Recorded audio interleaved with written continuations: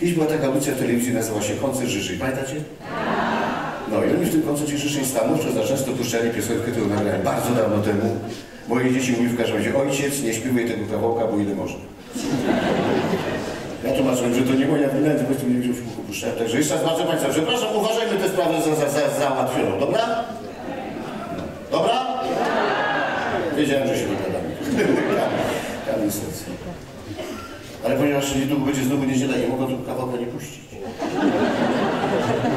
Ja chcę wszystkim Paniom, a w szczególności Pani Halinie, która nas pięknie ugościła w karczmie. Naprawdę dziękuję. Koledzy są tego samego. Słyszy, mi tak ciężko mi się, a to przez to jedzenie. Halinko, to coś fantastycznego to jedzenie tu, naprawdę. Możemy jutro przyjechać też. Więc zdrowia, szczęścia, Pani, Pani dedykuję również Paniom wszystkim e, wszystkiego najlepszego. Gdzie Halinka jest? Gdzie jest? Halinka, nie? Brawa dla Pani Halinki.